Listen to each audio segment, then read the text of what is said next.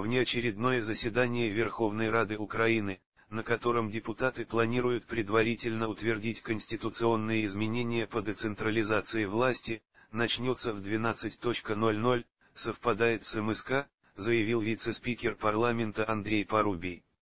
Депутаты радикальной партии с утра понедельника заблокировали трибуну Рады, чтобы не допустить принятия в первом чтении изменений в основной закон. В связи с этим парламент так и не смог начать свою работу в 11.00, совпадает с МСК. В данный момент президент Украины Петр Порошенко совместно с премьером Арсением Яценюком и спикером Рады Владимиром Гройсманом проводит консультации с лидерами парламентских фракций. В 12.00 мы начнем сессию.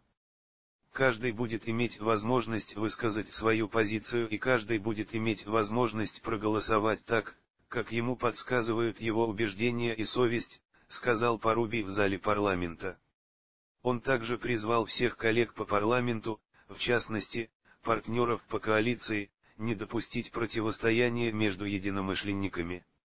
Ранее депутаты двух фракций коалиции «Радикальная партия» и «Самопомощь» заявили, что отказываются поддерживать предложенный Порошенко проект Конституции. По мнению депутатов, Норма об определении особого статуса Донбасса в переходных положениях документа угрожает государственному суверенитету и независимости Украины, а сами конституционные изменения значительно усиливают полномочия главы государства.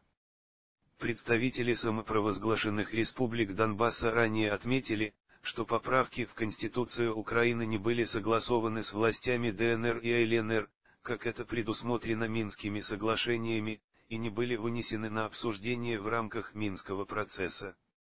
По мнению МИД РФ, предложенные Порошенко поправки являются лишь имитацией выполнения Киевом Минских договоренностей.